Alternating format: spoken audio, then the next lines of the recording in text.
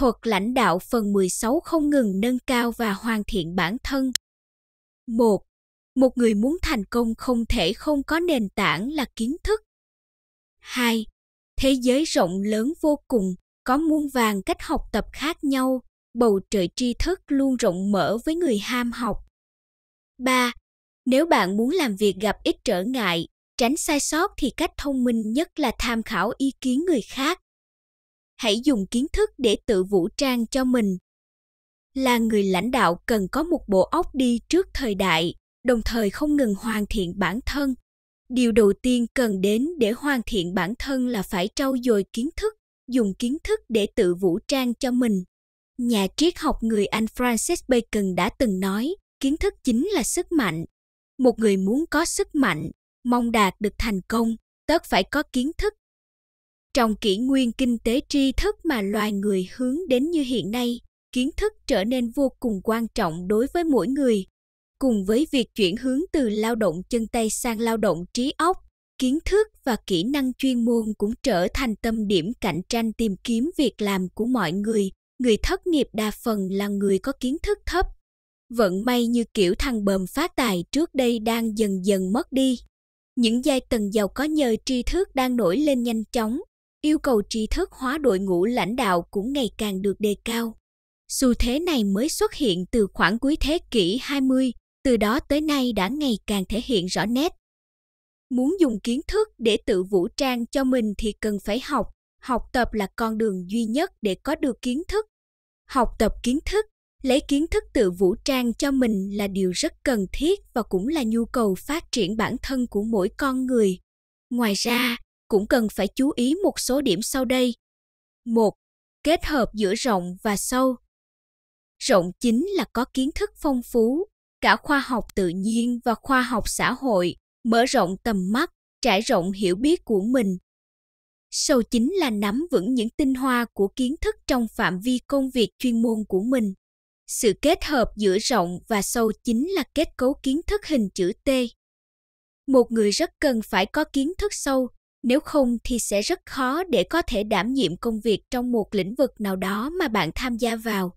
Nhưng chỉ có sâu mà không có rộng lại làm bản thân trở nên yếu kém, khó có thể đáp ứng được nhu cầu của cuộc sống xã hội ngày càng phức tạp. Thứ mà xã hội hiện đại ngày nay cần là những người tài vừa có chuyên môn trong một lĩnh vực, lại vừa có kiến thức trong nhiều lĩnh vực, chính là những người có kết cấu kiến thức hình chữ t người lãnh đạo cũng nên thích ứng với yêu cầu đó tự biến mình trở thành mẫu nhân tài như vậy 2 đừng chờ đợi, hãy bắt đầu ngay từ bây giờ. Nhà nghiên cứu người Nhật Bản Hideo Hosokawa đã đưa ra quan điểm ngày hôm nay chính là cơ hội. Ông nói, chỉ cần bản thân tự cho rằng mình có nhu cầu thì cần phải nhanh chóng nắm lấy kiến thức khi cảm thấy cần thiết đó chính là cơ hội để học tập nếu cứ nghĩ là để ngày mai làm thì có nghĩa là đã bỏ lỡ cơ hội tốt. Học tập kiến thức chính là như vậy, cơ hội không chờ đợi ai, thời gian không quay trở lại. Vì vậy, cần phải tìm cách để có được những kiến thức cũng như những thông tin hữu dụng. Hãy nhớ rằng, ngày hôm nay chính là cơ hội. Giả sử một công ty ưu tiên đề bạt những người có bằng thạc sĩ quản trị kinh doanh trở lên nắm giữ những vị trí quản lý trong khi bạn lại có mong muốn được đề bạt thì bạn đừng chờ đợi mà hãy nhanh chóng đi học để có được học vị này bằng cách học toàn thời gian hay bán thời. Gian đều được. Có thể vì việc này mà bạn mất một khoản chi phí lớn, nhưng chỉ cần có triển vọng cho tương lai của bạn thì khoản chi phí đó cũng không uổng phí. Nếu như bạn không biết nắm bắt cơ hội trong học tập, không hành động ngay lập tức, cứ kéo dài hết ngày này đến ngày khác thì thành công sẽ mãi tránh xa bạn mà thôi. 3 chịu khó, chăm chỉ, kiên trì. Có thể chia thành công thành hai loại, đó là thành công kiểu bình dân và thành công kiểu quý tộc. Những người thành công kiểu bình dân chủ yếu dựa vào lao động chăm chỉ, còn những người thành công kiểu quý tộc lại thường dựa những yếu tố không phải tự mình làm nên như họ hàng, thừa kế hay quan hệ. Trong xã hội hiện đại ngày nay, tuyệt đại đa số mọi người đều đi trên con đường thành công kiểu bình dân. Nếu bản thân bạn hay gia đình là những người bình dân, bạn không nên oán trời trách người, cũng không nên ham muốn, đố kỵ hay ghen ghét những người quý tộc mà nên tự mình tìm ra con đường thành công mang đặc sắc riêng của bình dân. Nhìn tổng thể thành công từ cổ tới kim thì chân lý chủ yếu của thành công là nắm vững kiến thức, kiên trì, nhẫn nại làm việc. Một người có thể thành công hay không không phải do hoàn cảnh xuất thân của anh ta quyết định, mà quan trọng là người đó có kiến thức, năng lực hay không. Kiến thức, năng lực đó lại do sự chăm chỉ học tập mang lại. Nếu ngại lao động khó khăn, gian khổ, chỉ mong kiến thức từ trên trời rơi xuống thì đó là điều hoang tưởng, chắc chắn sẽ không thể có được thành công. Khai thác nhiều cách học khác nhau. Ta có thể có được kiến thức bằng nhiều con đường khác nhau, vì vậy cần phải biết cách tìm những con đường học tập phù hợp. Tất cả những người lãnh đạo thành công đều hết sức coi trọng việc tận dụng các cách thức khác nhau để làm phong phú thêm kiến thức của mình. Người thông minh biết cách khai thác những con đường học tập khác nhau, nhưng những người kém thông minh có khi những con đường đó bày ra trước mắt cũng không nhìn thấy. Thế giới này rộng lớn vô cùng, có muôn vàng những cách học tập khác nhau, bầu trời tri thức luôn rộng mở với người ham học. 1. Tham gia lớp học Tham gia các lớp học bao gồm việc đến trường để học tập là một trong những con đường học tập chính trong thời đại hiện nay. Tuyệt đại bộ phận những người thành công đều phải đi qua con đường này mới có thể vươn tới những đỉnh cao của tri thức. Ưu điểm của việc học trên lớp là người học có thể nắm được hầu hết kiến thức của các môn học một cách toàn diện và có hệ thống, bởi vì những thầy cô giáo dạy trên lớp đều được đào tạo chính quy, những thầy cô này đều nắm vững những kiến thức những nguyên lý cơ bản của môn học, nắm được những bước phát triển của ngành học đó. Nhờ vậy trong một thời gian ngắn có thể giúp người học nắm được những nét khái quát, những nguyên lý và những điểm quan trọng, những điểm khó của môn học, đồng thời có vai trò DN dắt trong một số vấn đề quan trọng. Điều này so với việc người học phải tự đi mày mò, tìm hiểu kiến thức thì đã rút ngắn đường đi rất nhiều. Vì vậy, việc học trên lớp có thể bảo đảm tính hệ thống và khoa học của kiến thức. 2. Đọc thật nhiều. Đọc cũng là một cách học quan trọng. Thông thường, nghe giảng là một phương thức học trong một giai đoạn nhất định của cuộc sống, giai đoạn đó gọi là tuổi đi học. Nhưng con đường học hành theo suốt cả một đời người thì chủ yếu là đọc. So với việc nghe giảng thì thời gian mà người học dùng phương thức đọc để khám phá tri thức sẽ cần phải lâu dài trong thời đại bùng nổ tri thức hiện nay, những kiến thức có được bằng cách nghe giảng, hay còn gọi là những kiến thức thời đi học, chỉ là cơ sở ban đầu cho công việc chuyên môn khi ra trường các kiến thức này sẽ sớm bị lạc hậu, đặc biệt là những kiến thức về khoa học kỹ thuật. Có khi những kiến thức này chỉ hữu ích trong vòng một vài năm, sau đó đã trở nên lỗi thời, không thể sử dụng được nữa. Phần lớn những kiến thức mới bắt buộc phải dựa vào phương thức đọc để nắm bắt được. Nếu cho rằng phương thức nghe giảng giúp chúng ta bồi dưỡng năng lực tư duy năng lực phân tích và khả năng giải quyết vấn đề thì phương thức đọc lại bồi dưỡng cho chúng ta khả năng tự học và khả năng đưa ra những sáng kiến mới có thể thấy những người đạt được nhiều thành công trong sự nghiệp đều suốt đời cần mẫn không ngừng đọc để thu nạp kiến thức Đọc chính là phương thức học có thể thu được nhiều kiến thức nhất. 3. Tìm thầy để học. Người xưa từng nói, không thầy đố mày làm nên hay thầy hay mới có trò giỏi. Tìm thầy để học chính là cách thức phù hợp nhất để đẩy nhanh tốc độ học tập. Nhà khoa học nổi tiếng James Clerk Maxwell khi 15 tuổi thường không học tập một cách có hệ thống, học không tuân thủ theo tuần tự trước sau, nhà giáo dục kiệt xuất John Hopkins phát hiện ra điểm yếu đó của Maxwell. Ôn tồn nói, nếu như không có tuần tự trước sau thì anh mãi mãi không thể trở thành một nhà vật lý hay nhà toán học giỏi được. Nghe lời dạy của Hopkins, Maxwell liền thay đổi cách học của mình. Và quả nhiên chưa đầy 3 năm sau, ông đã trở thành một nhà toán học trẻ tài ba. Tìm thầy để học học từ kiến thức trường lớp hay tự học đều không thể hoàn toàn thay thế cho nhau những học giả lớn đều có học thuật cao cấp riêng mỗi người có phương thức học tập nghiêm túc riêng những điều này đều không đọc trong sách được cũng không thể nghe được trên giảng đường mà chỉ có đến học và tiếp xúc trực tiếp với thầy thì bản thân mới tự tiếp thu được 4. Học qua trò chuyện. Trong ba người cùng đi, tất phải có một người là thầy của ta. Bạn muốn tận dụng cơ hội trò chuyện để học hỏi thì phải không ngại ngùng, giấu dốt, mà nên coi việc hỏi han là niềm vui. Tuân Thục thời hậu Hán là một học giả nổi tiếng. Một lần trên đường đi chơi, Tuân Thục gặp Hoàng Hiến.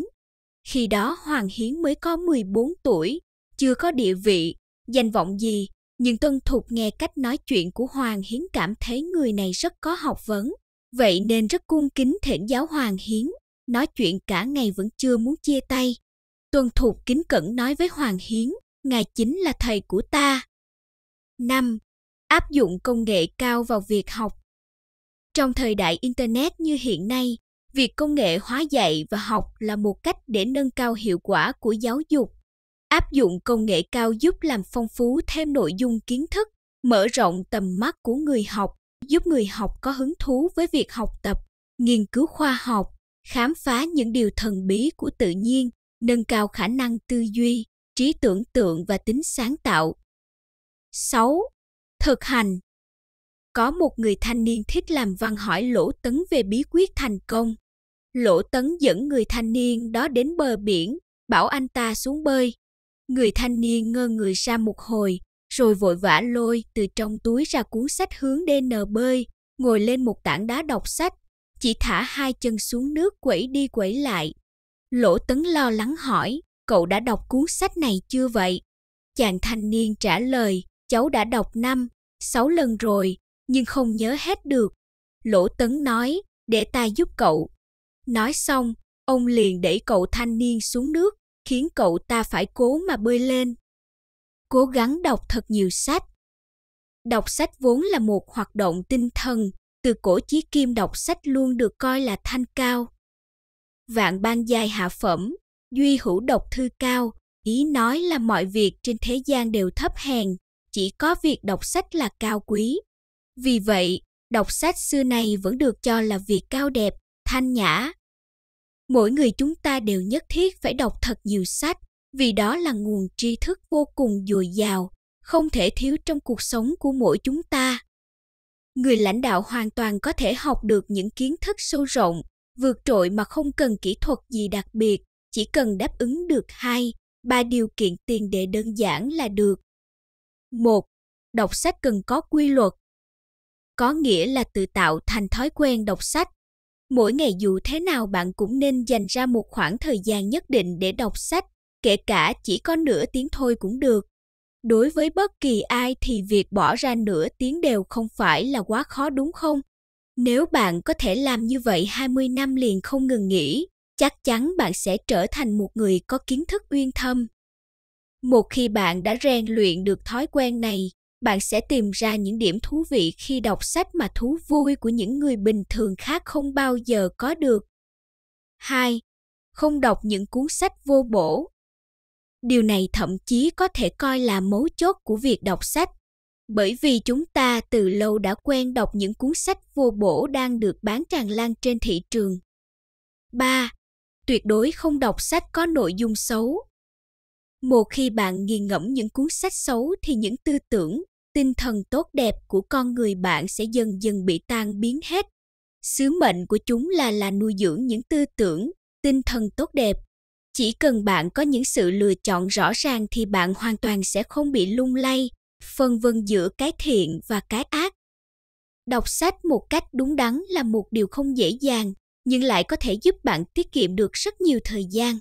Đọc sách một cách đúng đắn chính là đọc đi đọc lại những điều bạn thực sự mong muốn nắm được rõ hàm ý nội dung của nó còn nếu chỉ muốn biết về nội dung cuốn sách thì bạn thực sự không cần đọc đi đọc lại thực tế thì đọc một cuốn sách đến lần thứ hai mới có thể coi là bắt đầu đọc cuốn sách đó lần thứ nhất có thể đọc khái quát toàn bộ cuốn sách, đến lần đọc thứ hai lại cần phải đọc kỹ lưỡng từng phần của cuốn sách đó 4.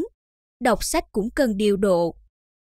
Nếu khi đọc sách bạn cảm thấy chán nản hay mệt mỏi thì tốt nhất bạn nên dừng lại. Tuy nhiên, khi mới bắt đầu thì tuyệt nhiên không nên dừng, bởi vì đọc sách cũng như những công việc bình thường khác, lúc mới bắt tay vào làm thì thường không thấy bất kỳ sự hứng thú nào cả. Nếu cứ cố đợi đến khi có hứng thú mới đọc sách thì e rằng vô số người sẽ không thể đọc sách được. Vì vậy, việc hạn chế được tính lười biếng là rất quan trọng. Lười biếng chính là trở ngại lớn nhất của sự nghiệp. Từ những điểm đã nói ở trên, có thể thấy quan trọng nhất là khi mới bắt đầu. Vì thực tế, có quá nhiều các loại ấn phẩm trên nhiều lĩnh vực khác nhau, khiến cho người đọc không biết nên bắt đầu đọc từ đâu. Tuy nói như vậy nhưng bạn cũng đừng mất đi dũng khí. Để không mất đi dũng khí, ít nhất là để không bỏ cuộc giữa chừng, hoặc để lấy lại dũng khí, bạn nên bắt đầu đọc từ những chỗ quan trọng nhất. Cựu phó tổng thống Mỹ Henry Wilson sinh ra trong một gia đình nghèo khổ. Ngay từ khi còn còn nằm nôi, ông đã phải đối mặt với sự khủng khiếp của cái nghèo. Ông đã từng nếm trải cái cảm giác thèm một mẫu bánh mì mà trong tay cha mẹ không có một xu. Năm 10 tuổi, Henry Wilson bỏ nhà ra đi. Năm 11 tuổi ông bắt đầu đi học nghề, mỗi năm được vào trường học một tháng. Cuối cùng, sau 11 năm làm việc cực nhọc, gian khổ, ông nhận được thù lao là một con bò và 6 con cừu. Ông liền bán bò và cừu, được 84 đô la Mỹ, từ khi sinh ra cho. Đến khi đó đã 21 tuổi, ông chưa từng tiêu tốn một đồng nào cho những việc vui chơi, giải trí, dù cho là chia ra một đồng ông cũng luôn tính toán rất kỹ lưỡng. Một tháng sau ngày kỷ niệm sinh nhật lần thứ 21, Wilson dẫn theo một nhóm người vào tận sâu trong rừng rậm, nơi chưa ai từng đến để chặt những cây gỗ thật lớn. Ngày nào ông cũng thức dậy từ khi những ánh nắng đầu tiên mới bắt đầu ló ra từ đường chân trời, làm việc hết sức chăm chỉ, siêng năng cho đến tận khi trăng sao hiện rõ mới nghỉ ngơi. Suốt một tháng ròng làm việc chăm chỉ, bất kể ngày đêm như vậy, ông nhận được thù lao là 6 đô la Mỹ. Khi đó đối với Wilson thì số tiền này là một con số lớn. Trong mắt ông, mỗi đồng đô la Mỹ đó đều như ánh trăng đêm rằm vừa to vừa tròn, ánh sáng tỏa khắp bốn phương. Trong hoàn cảnh nghèo túng, khó khăn như vậy, Wilson hạ quyết tâm không để tuột mất bất cứ cơ hội phát triển, nâng cao bản thân nào. Không có nhiều người có thể hiểu sâu sắc giá trị của những phút giây nhàn rỗi như Winson. Ông tranh thủ từng khoảng thời gian quý giá đó như thể chúng là vàng bạc vậy. Ông không để một giây một phút nào trôi qua một cách uổng phí. Tính đến trước khi 21 tuổi, ông đã đọc, nghiên cứu được 1.000 cuốn sách. Sau khi rời khỏi nông trường, ông đi bộ liền hơn 100 dặm để đến thành phố Natick của bang Massachusetts học đóng giày. Ông cũng đi qua Boston, nơi ông được thấy tấm bia kỷ niệm trận đánh Bunker Hill và những di tích lịch sử khác. Toàn bộ chuyến đi của ông chỉ tiêu tốn mất một đô la và 6 xu. Một năm sau, ông tham gia vào một câu lạc bộ hùng biện ở Natick và trở thành một thành viên rất nổi trội ở đây. Sau đó, ông có một bài phát biểu rất nổi tiếng về việc phản đối chế độ nô lệ trước nghị viện bang Massachusetts khi đó ông mới đến bang này chưa được 8 năm. Và 12 năm sau, ông được vào quốc hội, ngồi ngang hàng với Charlie Summer nổi tiếng. Đối với Wilson, mỗi cuốn sách đều mang lại cho ông trí tuệ. Ông luôn coi đó là những nấc thang dẫn ông đi trên con đường thành công.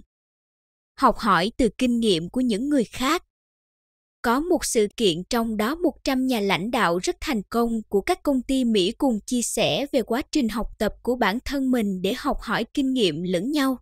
Những kinh nghiệm đó có thể tập trung lại ở những ý sau. một Học từ những công ty khác. Nếu có cơ hội làm việc ở những công ty khác, nên chú ý quan sát những sở trường, điểm mạnh trong công việc kinh doanh của người lãnh đạo công ty đó. 2. Tuyển dụng những nhân viên thông minh, nhanh nhẹn, năng động. Nhiều nhà lãnh đạo cho rằng việc tuyển dụng những nhân viên thông minh, nhanh nhẹn, năng động không những có lợi cho sự phát triển của công ty mà các nhà lãnh đạo cũng có thể tự học hỏi từ chính những người nhân viên đó. 3. Nên thường xuyên đi ăn uống với những người thành đạt. Chỉ cần người đó có những kinh nghiệm thực tế mà bạn còn thiếu thì bạn đừng ngại ngần, hãy tích cực mời họ cùng đi ăn nói chuyện cùng những người từng trải như thế bạn có thể học hỏi từ họ rất nhiều kiến thức và phương pháp 4. sử dụng những công cụ nghe nhìn để làm phong phú thêm kiến thức về quản lý của mình. Ví dụ như các chương trình nói về quản lý trong doanh nghiệp được chiếu trên truyền hình, bạn nên dành thời gian theo dõi hoặc có thể thu lại để đến khi nào rảnh rỗi thì xem lại, lâu ngày nhất định sẽ có tác dụng. 5. Kết bạn với những cán bộ trong các cơ quan nhà nước có liên quan đến công việc của mình. Những người này có thể là nguồn kiến thức tuyệt vời.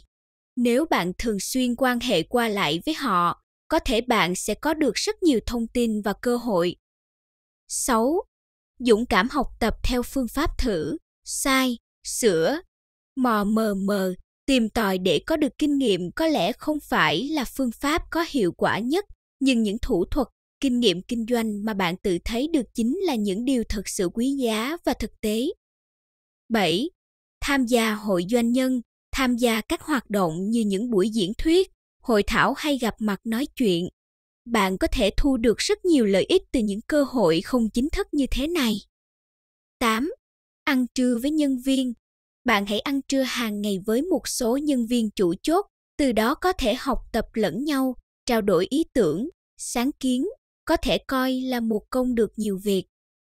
9.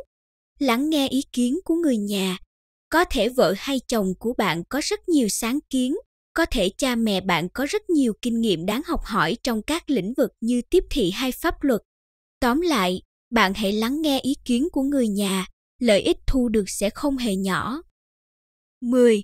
Đọc nhiều sách vở, báo, tạp chí, thông tin mua bán. Đó đều là những nguồn thông tin rất hữu ích.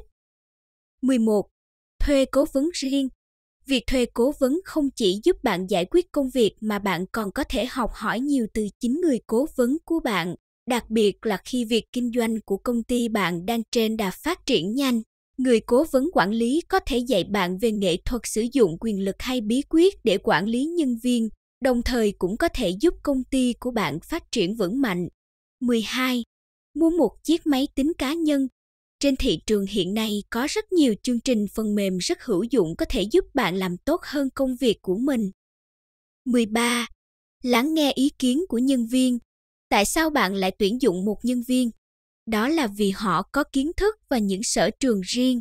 Vì vậy, bạn nên chú ý lắng nghe những ý kiến tâm huyết từ phía họ. 14. Học tập từ những người giỏi. Nếu bạn ở gần những người giàu có hay những người tài hoa, ngày qua ngày một cách từ từ bạn sẽ phát hiện ra mình thu được rất nhiều thứ bí quyết để có được điều này là hãy thường xuyên đi ra ngoài gặp mặt nói chuyện nhiều với khách hàng với nhân viên hay với các chuyên gia 15. Tận dụng trí tuệ của những nhà cung cấp. Những nhà cung cấp thường không chỉ thành thạo nghiệp vụ kinh doanh mà còn có thể đưa ra cho bạn rất nhiều lời tư vấn đặc biệt có ích.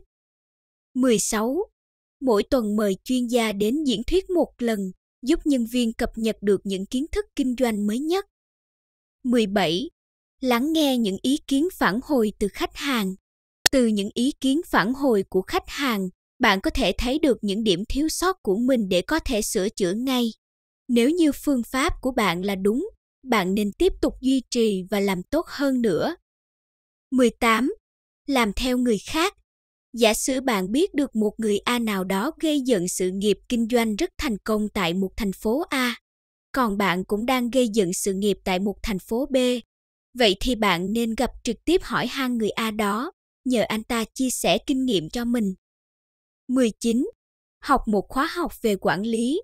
Hiện nay các công ty tư vấn quản lý thường tổ chức những buổi nói chuyện chuyên đề, đồng thời cũng có rất nhiều trường đại học mở các lớp về nghiên cứu quản lý bạn nên tranh thủ thời gian buổi tối hay những ngày cuối tuần để tham gia học tập, nghiên cứu trong những chương trình này. 20.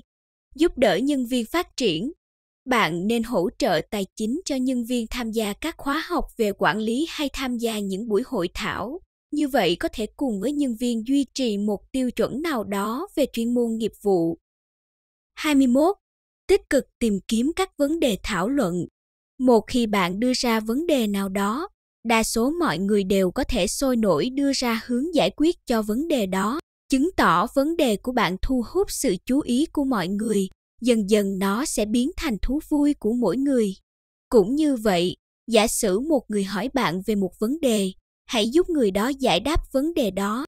Nói cách khác, nếu như bạn muốn biết được nhiều điều, trước tiên bạn phải cho đi nhiều.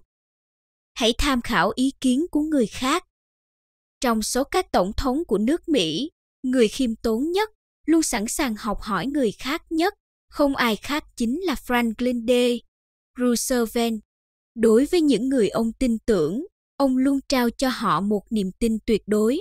Mỗi khi gặp phải một vấn đề gì đó, ông thường họp bàn với những người có liên quan, nghiên cứu cẩn thận vấn đề. Có lần vì muốn tham khảo thêm ý kiến của một người khác, Roosevelt thậm chí đã phát điện báo đi hàng nghìn cây số để mời bằng được người mà ông cần tham khảo ý kiến đó đến gặp mặt bàn bạc. Một nhân vật rất nổi tiếng trong giới chính khách của nước Mỹ thời kỳ đầu là Lewis George. Ông nổi tiếng về sự khôn ngoan và cẩn thận trong xử lý các công việc hành chính. Mỗi lần ông làm xong một bản dự toán ngân sách trước khi gửi cho Ủy ban Kiểm toán Quốc hội vài ngày, ông luôn cùng một số chuyên gia bàn thảo lại về dự toán đó. Kể cả những điểm dù là nhỏ nhất ông cũng không bỏ lỡ cơ hội tham khảo thêm ý kiến mọi người.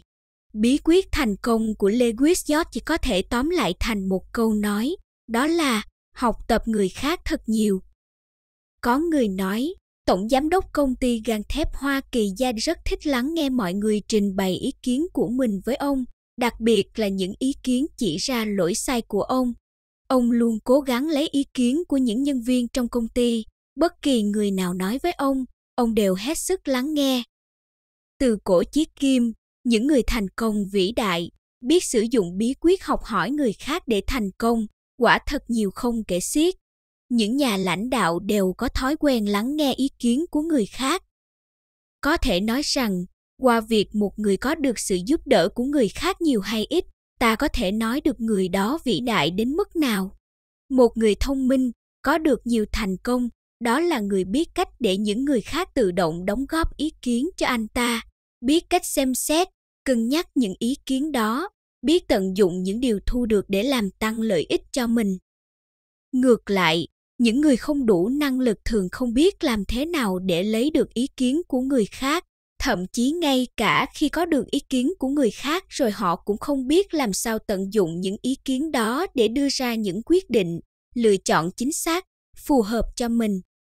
Nếu bạn là một người chuyên quyền độc đoán, thường làm những việc kiêu ngạo, coi những ý kiến của người khác đóng góp cho bạn là một điều xúc phạm, sỉ nhục, thì đó quả là một sai lầm lớn.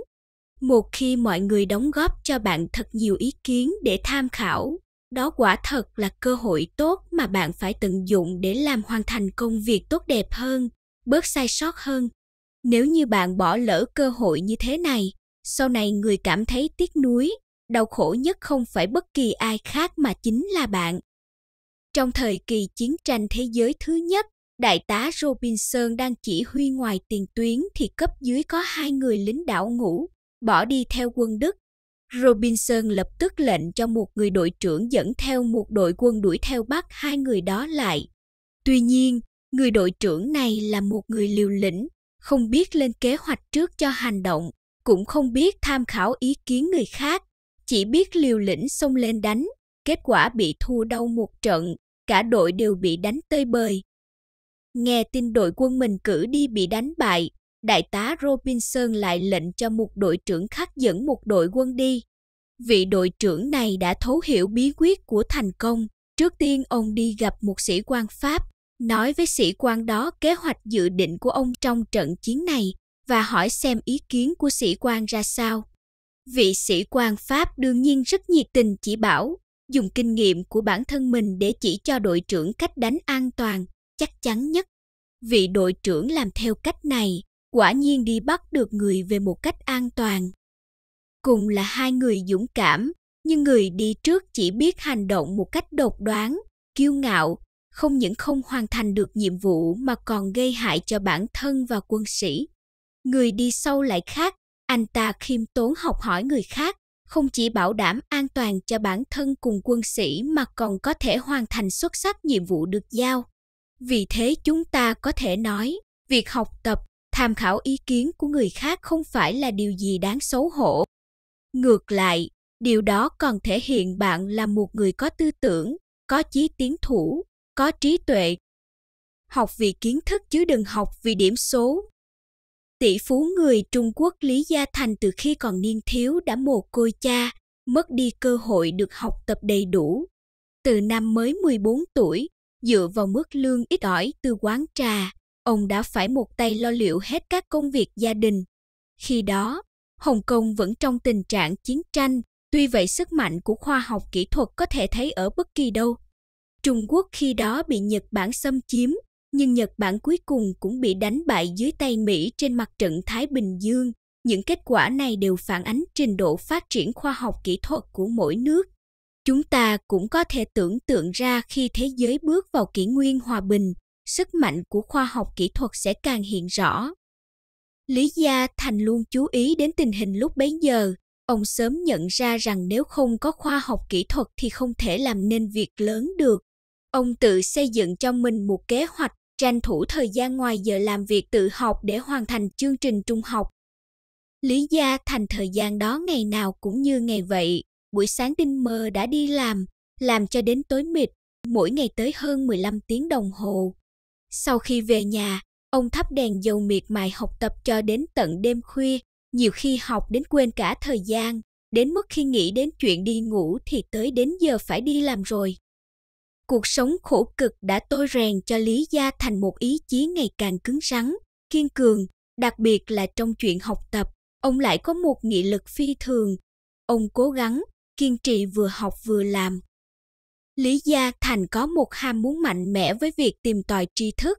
Ông luôn băn khoăn lo lắng làm sao kiếm được tiền để mua sách về học. Từ nhỏ Lý Gia Thành đã có tính kiêu ngạo, không muốn ai bố thí cho mình cái gì, càng không muốn chịu ân huệ của ai. Vì vậy, không bao giờ ông nghĩ đến chuyện đi mượn sách. Tuy nhiên, tiền lương của ông rất thấp, không đủ để chăm lo cho cuộc sống hàng ngày của gia đình, chưa kể còn phải chi trả cho tiền học của em trai và em gái ông.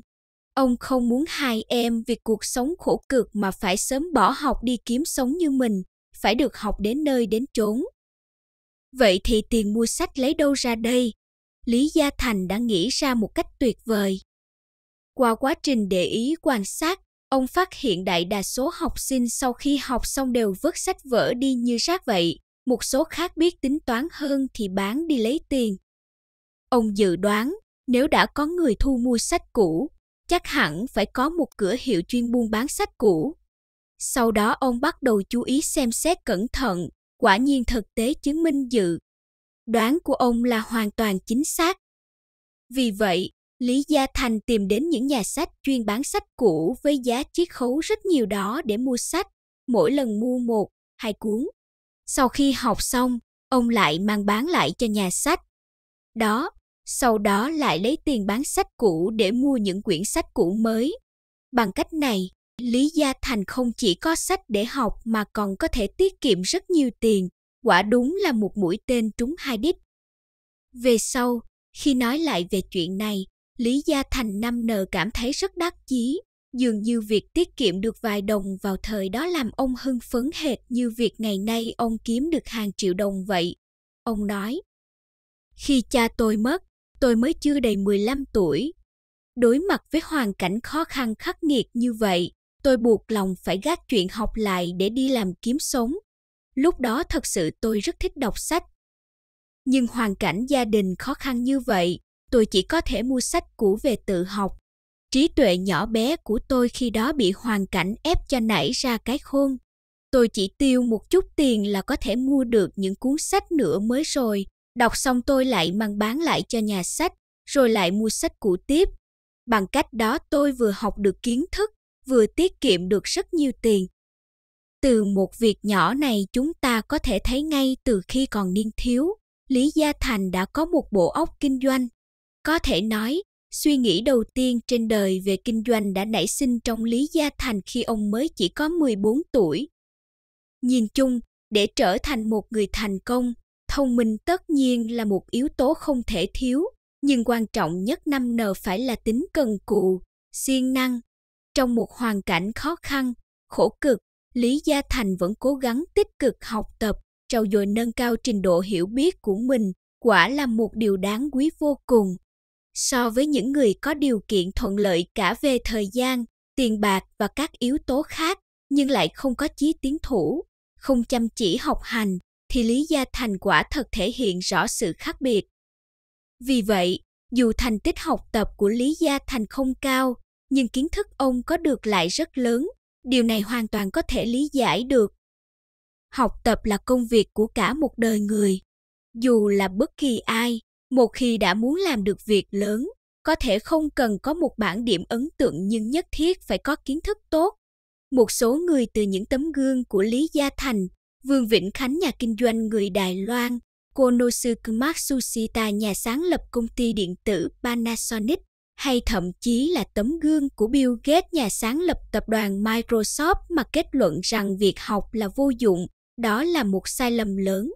Những tấm gương đó, họ chỉ không có một bản thành tích học tập sáng chói, nhưng học vấn, kiến thức của họ vô cùng phong phú, có thể vượt qua không ít người có thành tích học tập ấn tượng.